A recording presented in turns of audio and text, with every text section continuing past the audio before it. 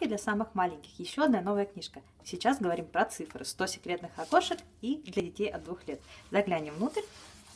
Так, даже на обложке, обратите внимание, есть творочки, обезьяны. Так, дальше смотрим. Открой створки и узнай, сколько таких животных живет на ферме. Задача ваша разглядеть вот этот разворот повнимательнее и пересчитать всех животных по заданиям. Едем дальше. Это тема транспорта. Тема цифр раскрывается на самых таких э, популярных темах для ребенка, все, что он видит вокруг. Дикие животные, подводный мир. Опять же, под каждой сторочкой вас э, ждет либо картиночка, либо слово, либо крупная цифра для запоминания. Каждая створочка представляет из себя интерактивное задание. Например, тема овощей. Разглядываем, внимательно считаем. Например, три, виноград... три виноградные грозди. И вот раз, два, три ребенок посчитал. Дальше история с лесом опять же, лесные животные, а, и обязательно а, вот такая в конце картинка для закрепления понятия цифры, количества и того, как цифра называется. Итак, створочки для самых маленьких, мои первые цифры.